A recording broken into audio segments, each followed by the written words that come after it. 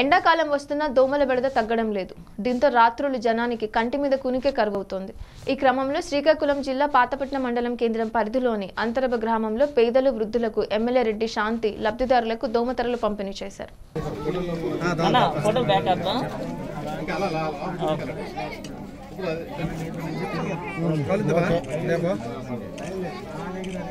రేపు రేపు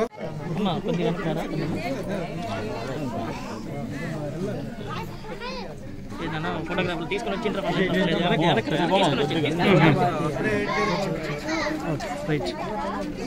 అనిపిస్తాను మేడం గారు ఒకసారి ఇటు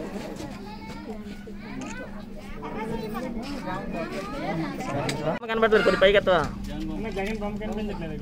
ఇప్పుడు పైకి చేతులు దించండి సార్ దయచేసి. వచ్చినారా యువనాథ? Alright. Sebentar. Oke.